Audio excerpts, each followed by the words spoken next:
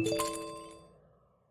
everyone, what's up? We're for Guerrilla Poker. A bit late, but doing a, a nice four tabling session for you guys. Mixing 1k and 500. I, I actually couldn't find easily 1k tables. I was just playing heads up for a while with uh, Chris Gwen, I think it's called. Pretty nice guy. Yeah, let, let's hope it goes well. He was doing actually the the heads up straddle strap. I don't know how many of you guys know that, but you can straddle heads up on this site. I don't think you can on most sites, and it, it creates kind of interesting strategic dynamics, and it's not as bad as you might think. Puts your opponent into a weird spot, so to speak. So, yeah, no, no relevant history with anyone. We'll just play the hands as they come along. King 4 suited, I'm gonna mostly call, sometimes raise. Can throw in a raise. Queen 9 after betting turn and getting the diamond, I think kind of mandatory-ish river bet, and we'll just go for a big size. Having the diamond and 9 is kind of nice. King 4 of clubs. Okay, make the nuts is always good good time to think of my range. Of course, I'd be checking back a ton, ton, ton of hands, but hands I can continue betting are going to be mainly, mainly flushes, maybe sets. I, I feel like just the fact that the flush gets there makes me want to not size super duper huge. So obviously snap fold here. Just a, a general tendency that you see in solvers is that when flushes get there, there's something super dynamic about the board. So the huge sizings tend to come on the river rather than on the, the flop and the turn. So now this hand just played. Guys can rewind and see the hand. So basically three-way limped pot, flop checked around, I bet turn and over bet river and the guy raises big. And given it's a paired board, this indicates likely a boat. So, you know, most likely since it's limp jack 3 or jack 7. And it's interesting to think what would he be bluffing with there? Right? I think that's always an interesting question to ask. Is that a good spot to bluff or a bad spot to bluff, for example? When we have enough time when we're not in hands, we can talk about that.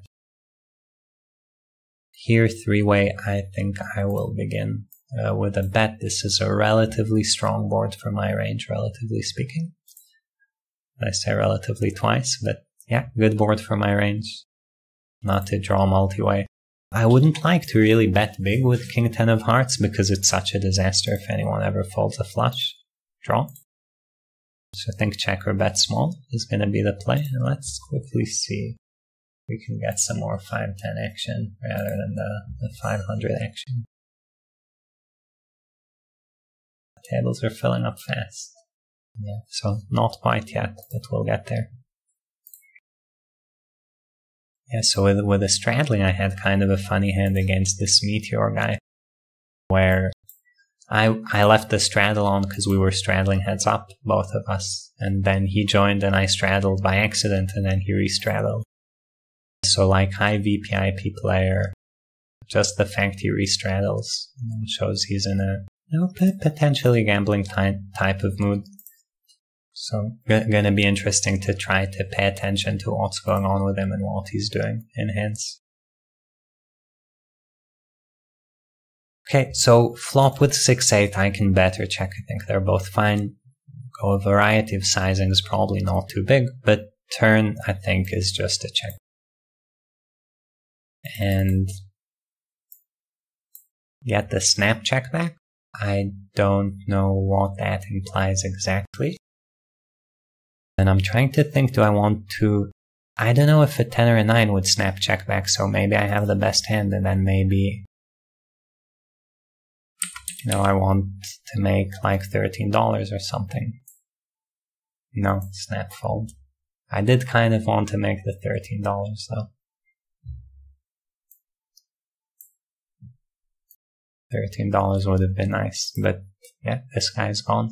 And don't disrespect small bets. I think they are important and they add up because in the end we measure our win rate in big blinds per 100 hands. So if you can sneak in an extra big blind here or there in a good situation, definitely not not something to to disregard.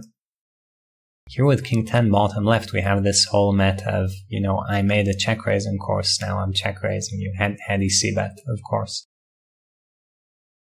I think I'll, I'll just start throwing out bets with this hand. So yeah, had he bet and I check raised, we would have had maybe a, a meta type of thing. But ace king top left, I'm kind of inclined to call. Generally, I don't like calling these small river block bets in, in these situations, but I have a feeling pairs would have block bet before and 10 would bet bigger. So that kind of triggers my, my, the bullshit part of my brain. When you add it all together, I'm probably going to be wrong because these, these bets are lot.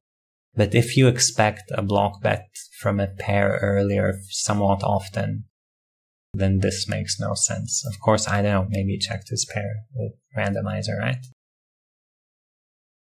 That's kind of the thought process for me bluff catching there.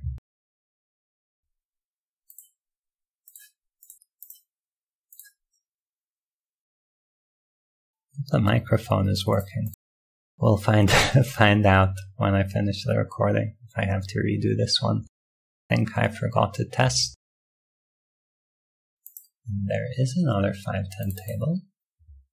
So I'll probably join this one. Sorry, it's off screen. I'll throw this here in a second. I'm playing the button out of respect to everyone watching. Um, have to always play the button. So I, I think actually the ace king hand was, was kind of a fun bluff catching exercise. Nowhere, like, I, I don't really know, but there is a decent potential the other guy kind of messed up or winged his sizing there, according to the size I saw in, in in the handy showdown. But yeah, we're never gonna know unless we play him a lot more.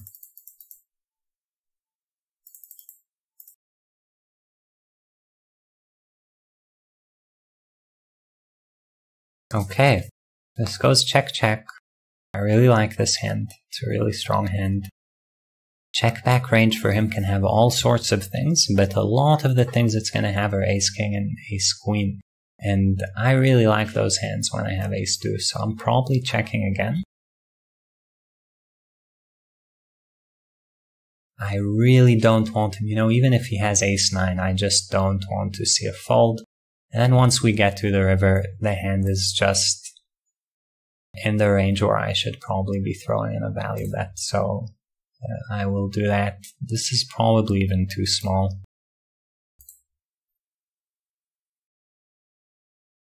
Yeah, it's probably too small. I, I should have given that some more thought because when you look at the run out 10 deuce 4 6 6, it's so low. Three bet ranges are so high, card heavy. Ace deuce is actually a, a really, really strong hand by the river. I wouldn't be surprised if I could, you know, pot bet or, or something of that nature in practice in that spot. I don't know how, how long is a good length for these sessions to be because YouTube videos tend to, to like short vids. It's really weird to make a really short live play session though. We'll see how it goes. See which size do you want to go. This size. Yeah, and the course that I made for Upswing Poker. Kind of big picture. The idea of exploitative poker is that rather than worry too much about balancing my range, I'm more going on the offensive and thinking what types of mistakes are my opponents likely to make against various, you know, sizings and strategies and lines. And rather than worry about balance, which is inherently a defensive poker concept where you try to balance your range in order for your opponent not to exploit you. I feel especially at these stakes that I'm but but at any stakes really that I'm better served by looking for mistakes that, that my opponents are making. So fours is a hand here that's right on the cusp and it's usually mixing. I'm gonna fold this time. Although it would have gotten a good flop. I was gonna say I, I had a feeling I'm getting a bad flop, but can't say that now. So yeah, it's the kind of hand that should fold sometimes, call sometimes there. Queen deuce, so we check all a small bet, 10 10. You know, he could have a bunch of tens and he could have some one heart hands. The deuce is not very relevant. This is just a queen with no kicker. It does almost feel strong enough to bet, but not quite. I feel like these four flush runouts, I, I might need stronger than a queen with no kicker to bet. I need a little bit. It, it's right on the border though, for me.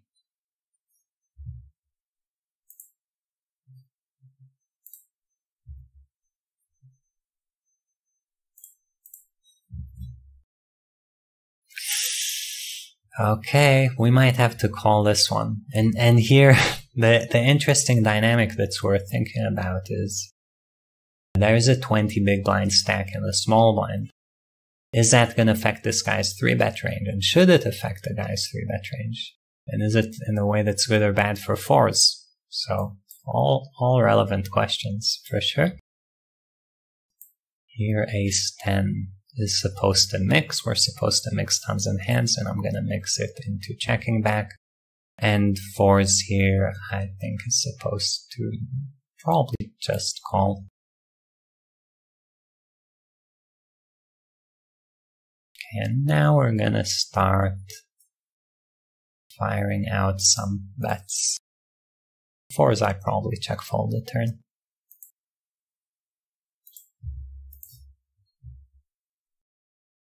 I am ahead of lots of hands, right, with fours, but they have fairly decent equity against me, and when, when I'm behind, I am kind of dead. Okay, I, I don't see betting this as a real option. Very cool to get that amount of money from Ace King here. I'm not very sure. That doesn't seem correct from him. This is an interesting spot where I think because it's heads up, I get to call 6 max, obviously, would be doing more folding there. Like it's 8 9 king if it's button versus blinds. Offsuit hands like the worst ones that you open are. Uh, wait, let me think if I get to bluff threes. I, I think probably not.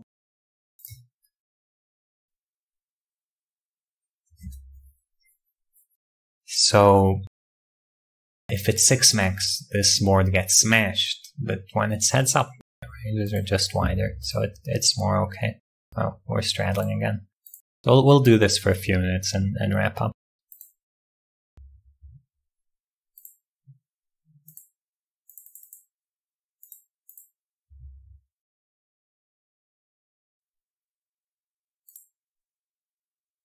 Let's do no auto reload as long as we're there. This is, I feel close but not good enough ace queen suited, not really foldable here, even though we went kind of big for a called four bet. Still called.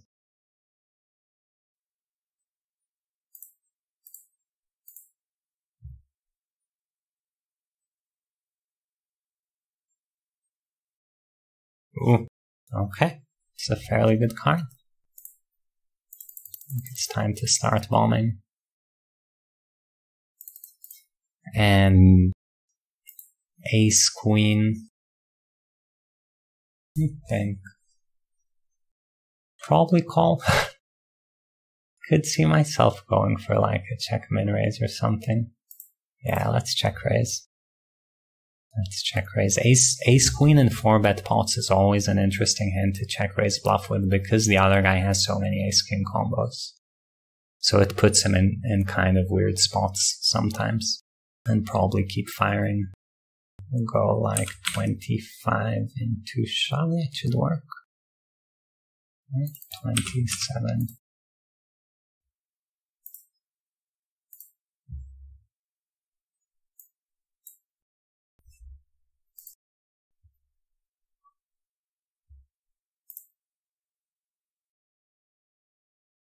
Okay, here we have to fold. May look like spew. I know lots of people don't have bluffs here except for stuff that's always stacking off, but you, you are supposed to do this stuff sometimes. We'll check down the king high.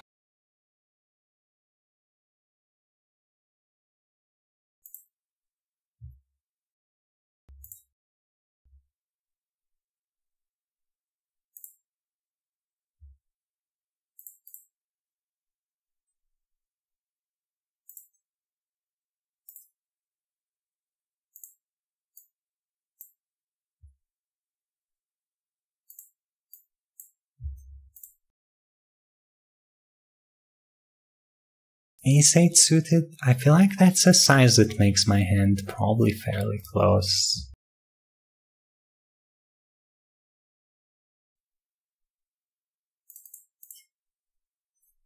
Think. I'm so rusty with pre-flop ranges, Re- really apologize for that, guys. Yeah, well, let, us call for the video. I, I don't know if that's a good call or not.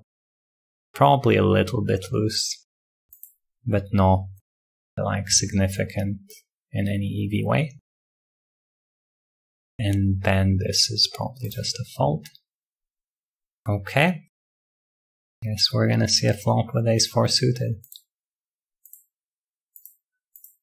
Unless we want to go for this. This feels okay to do as well. No, it's just call just kind of to explain the thought process. Of course, th- this is a spot where I am now completely winging it with ace four. I never straddle heads up. We're at a weird SPR. I'm not even reloading. So kind of chaos mode poker, which I think is, is in general fairly cool to do. And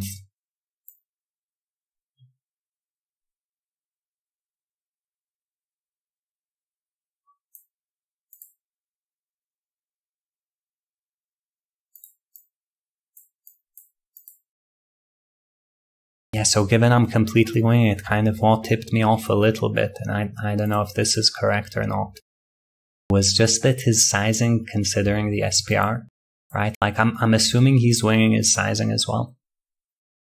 And his sizing felt a little bit sloppy in terms of pot committing, and if, if that makes sense. Ah, caught me again with a straddle. Like I, I had a feeling had he been bluffing, he might have been a bit more careful with the with the strat with the sizing there. That makes sense. It's probably close. Yeah, let's just limp limp and play with our straddling friend.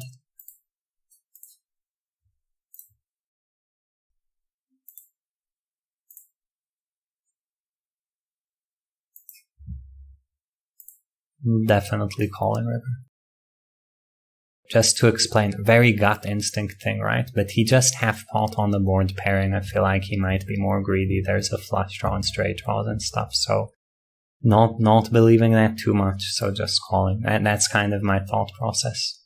Okay. Make of it what you will, but I, I have like a strong gut feeling of, of never ever folding there. So probably getting near time to wrap up. We'll, we'll do a few more minutes just the the fact I'm not not talking too much makes me think it's kind of late here. Probably I'm a bit too tired to be making a video. See if we can get in some last hands. We'll sit out next to the blind.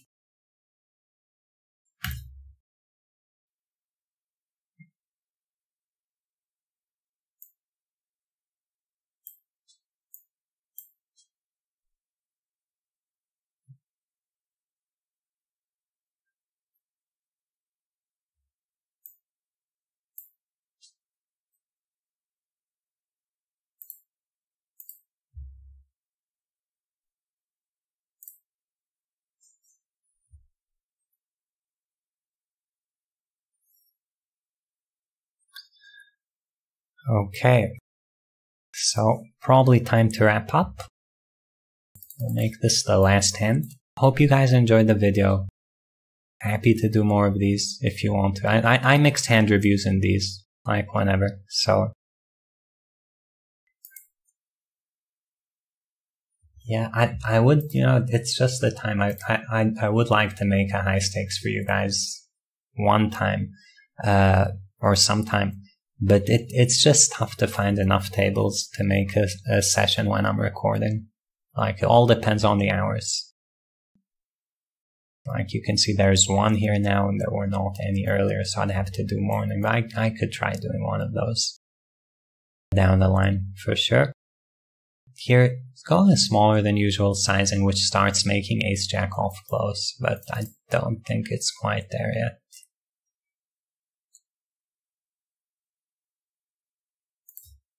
Last hand.